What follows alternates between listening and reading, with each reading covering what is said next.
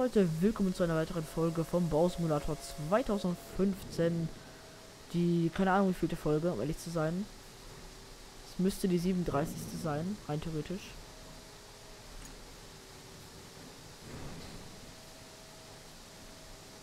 Also rein theoretisch zumindest. Äh.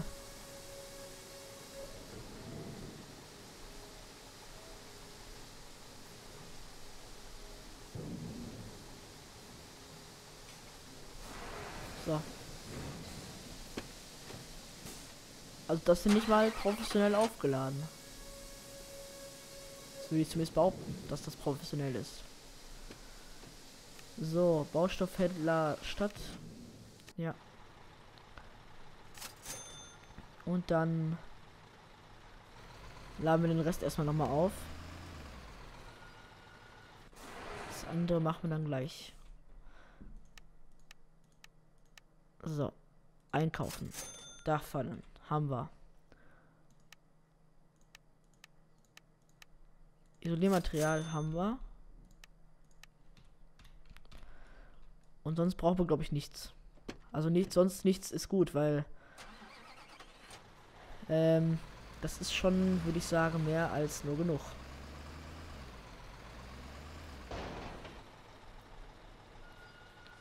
Blöder Gabelstapler geht mittlerweile auch irgendwie auf den Nerv. Vor allem, weil wir den gar nicht mehr benutzen.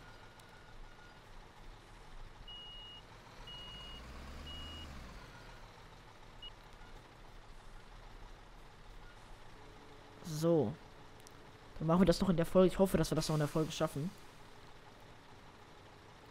Und den Rest machen wir einfach später. Also beziehungsweise ich denke mal, eine Baustelle kriegen wir auf jeden Fall fertig. Den Rest, den müssen wir schauen, wie schnell wir da jetzt sind.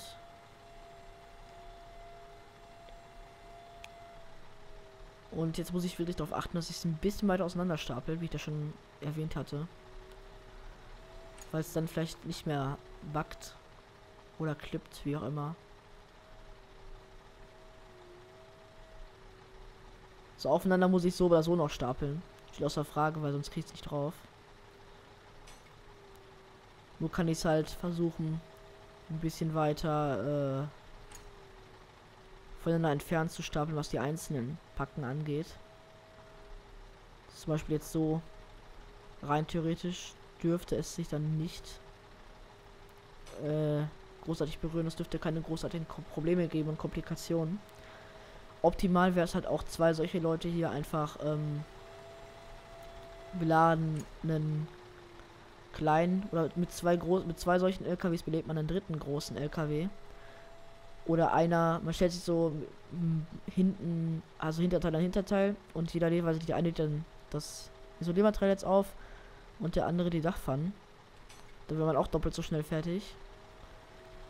Wobei ich bezweifle dass der Elias dann doppelt so schnell fertig wird weil der hat das Spiel vorher noch gar nicht gespielt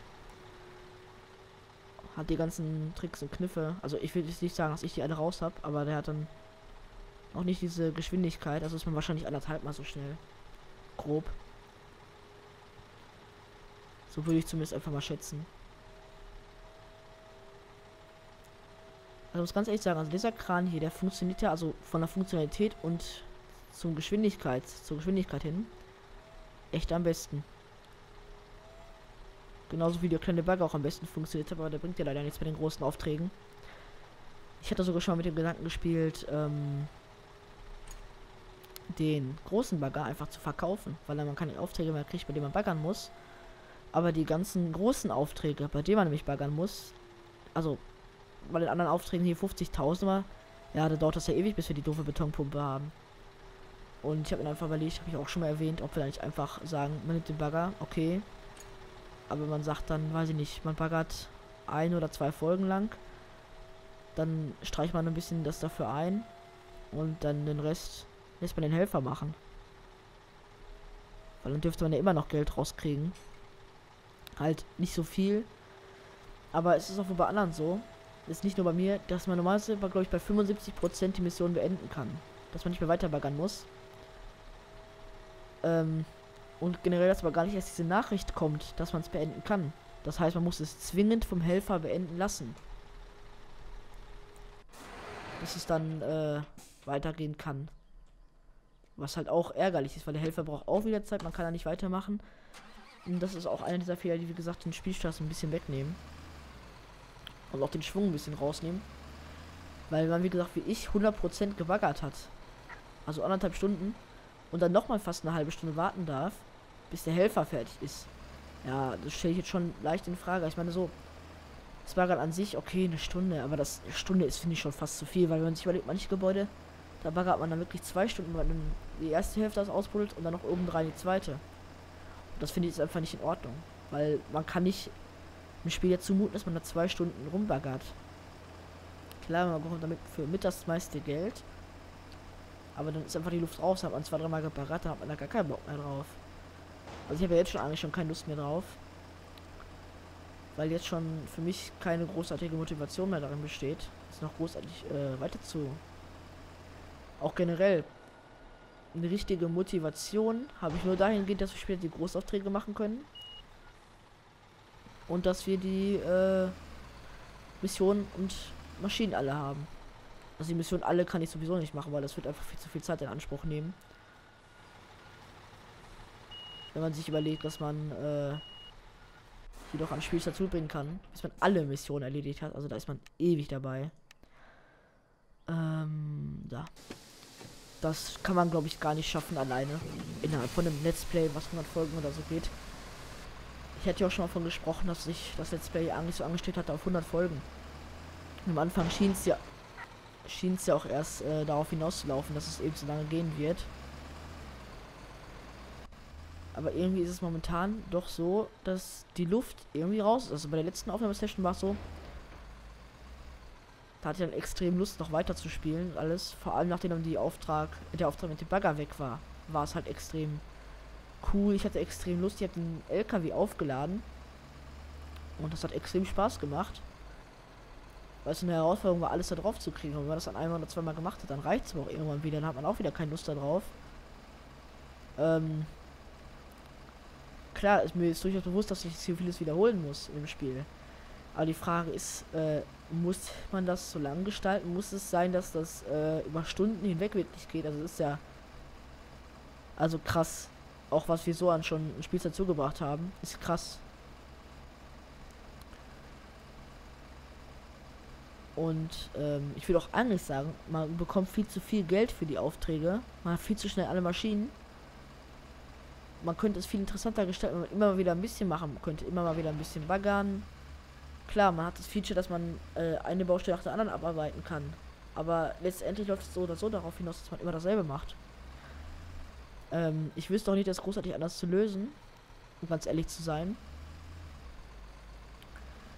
Aber was zum Beispiel auch Auflockerung hätte reinbringen können, ein Kieswerk machen. Gibt es ja, ist mir durchaus bewusst. Das war auch in der Mo Mobile-Version so dass man mit einem Radlader oder halt mit einem normalen Bagger die LKWs vollladen musste mit dem gewünschten Gut. Und dass es nicht nur Erde ist, sondern dass man auch Kies oder Schotter bringen kann und muss. Und auch, dass man als Person hätte rumlaufen können mit einem Verfestiger für Beton. Dass man Platten legen kann, weiß ich nicht, dass man sich mal zwei, drei Steinfliesen äh, nehmen kann und die dann im Endeffekt hinlegt, bis man einen Weg hat. Hätte sich bestimmt auch irgendwie interessant umsetzen lassen. Aber äh, ist es nicht so? Vielleicht wollen sie das auch für den nächsten Simulator aufsparen, also für den nächsten Teil dieses Simulators. Oder halt, es gibt irgendeinen anderen Simulator, das macht. Oder einfach, es wäre zu schwer zu integrieren. Oder, was wahrscheinlich dann, ist das jetzt der vierte oder dritte Grund? Bin mir gerade nicht sicher. Sie wollen es einfach nicht. Wobei ich das nicht glaube, weil Weltenbauer sind ja schon recht engagiert. Also die Firma Weltenbauer. Muss gucken, dass nicht unbedingt die Sachen hier in der Kollisionszone drin sind. Das wäre suboptimal. Ich glaube, die andere Baustelle schaffen wir in der Folge nicht mehr. Aber diese dürfte eigentlich noch zu packen sein.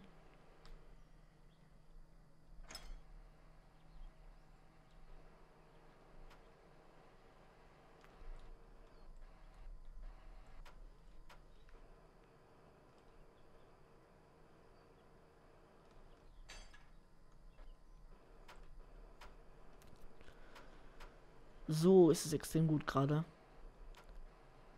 So spielt es optimal. So macht es auch Spaß. Wenn man so ein bisschen nicht ganz ernst spielt, sondern einfach so ein bisschen hier. Naja, Freestyle will ich jetzt nicht nennen, aber halt so ein bisschen. So wie man selber eben will. Das habe ich gefailt.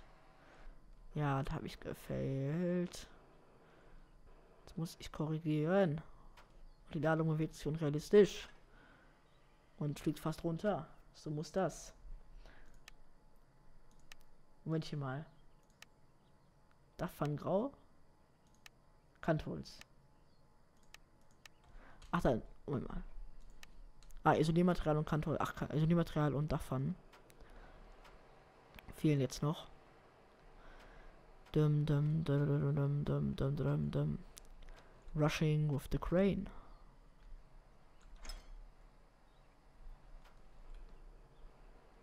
La la la.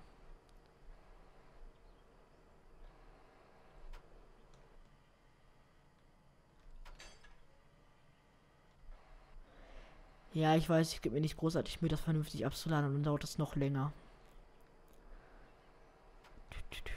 Ich muss ganz ehrlich sagen, das habe ich auch schon mal irgendwann gesagt, glaube ich, ähm, dass es teilweise echt motiviert, dieses Spiel zu spielen, nur weil man Let's Play macht und weil man euch zeigen möchte, wie das Spiel äh, aussieht. Ich glaube, privat hätte ich, um ganz ehrlich zu sein, schon fast aufgehört, das Spiel zu spielen. Ich weiß auch nicht, irgendwie ähm, hätte ich ja, glaube ich, keine Langzeitmotivation für. Beim Let's Play ist das anders. Da habe ich diese Motivation. Aber ich würde sagen, also bei einem normalen, freien Spiel einfach, ohne Let's Play hätte ich die nicht. Wobei ich generell bei vielen Spielen nicht an die Motivation. Also danach kann man nicht unbedingt gehen. Wenn man nämlich danach geht, hätte ich auch beim LS viel weniger LS gespielt. Überhaupt. Generell immer. Als wenn ich jetzt Let's Plays gemacht habe. Wobei man doch irgendwo auch sagen muss, Let's Plays nehmen noch einen kleinen Teil der Spielzeit bei mir im LS ein. Auch gerade Minecraft. Da habe ich bestimmt 5000 Stunden oder so gespielt. Glaube ich zumindest. So, so viel müsste es eigentlich rein theoretisch sein. Ich habe ja lange Zeit auf einem Laptop gespielt. Und das war eigentlich so meine, meine Haupt-Minecraft-Suchti-Phase. Wo ich dann wirklich richtig viel Elias. Ach, Elias. Sehe ich da gerade unten, dass Elias online gekommen ist. Wo ich dann wirklich richtig viel Minecraft gespielt habe.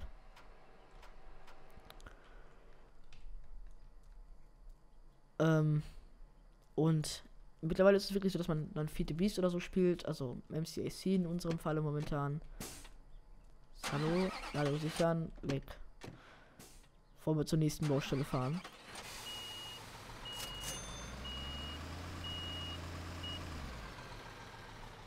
Hä? Wie noch was jetzt besorgen?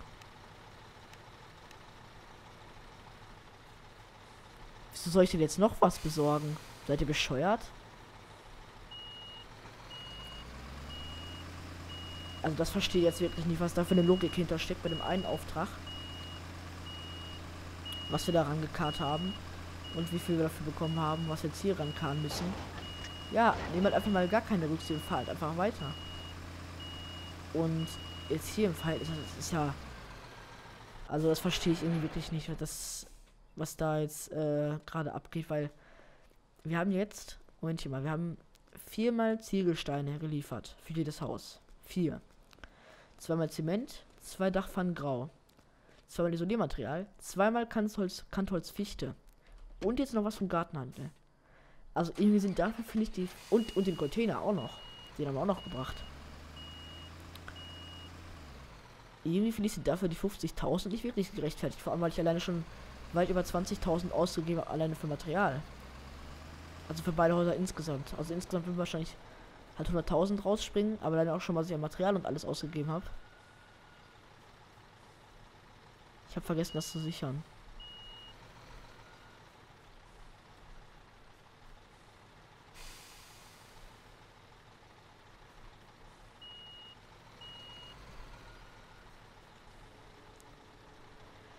Naja, gut. Hm.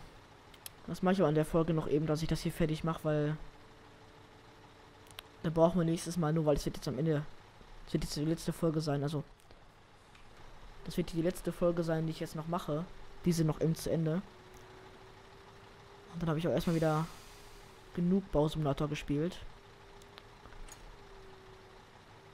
Weil sonst äh, habe ich da die nächsten Wochen gar keine Lust mehr drauf. Ich würde wirklich überlegen, ähm, das Projekt hier ein bisschen nach hinten zu stellen und dann irgendwann ein anderes Projekt zu machen. Wenn nämlich mal wieder ein Spiel rauskommt, das ich jetzt playen möchte. Da ist eigentlich eins rausgekommen, aber da ist es leider so,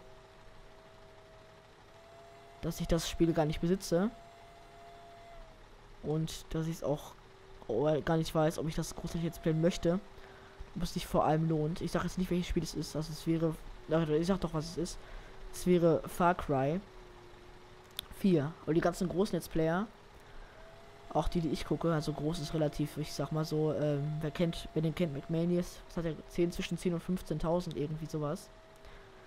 Bei dem habe ich halt Far Cry 4 geguckt. Und ich habe es an die falsche Stelle abgelegt. Schlau wie ich bin.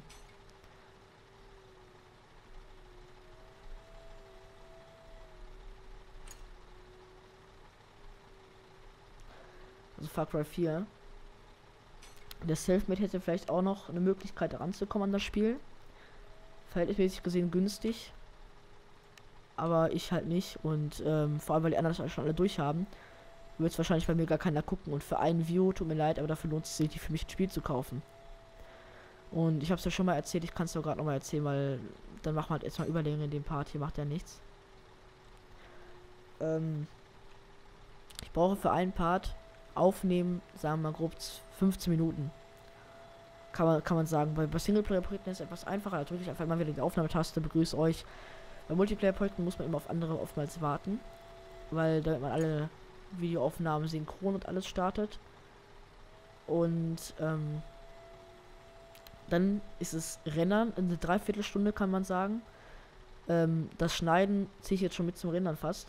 Also würde ich das Schneiden nochmal extra zählen. Bei Multiplayer-Projekten wäre es nochmal deutlich mehr. Sagen wir also mal aufnehmen und rennen insgesamt eine Stunde. Dann lade ich drei Stunden hoch. Ähm, bei Thumbnails, da dauert es nicht lange. Dann mache ich das Thumbnail fertig und dann habe ich eine mit Hilfe von einer Datei in Excel, also so eine Art Excel. Halt, ich mache das bei bei ist das Li LibreOffice mit einer Text mit einer Tabellendatei. Da geht das nämlich auch ganz gut, dann lasse ich einfach ein Thumbnail nach dem anderen durchlaufen. Hab dann innerhalb von zwei, drei Minuten meine 100 Thumbnails fertig. Das reicht ja dann auch meistens, also für die meisten Projekte reicht das.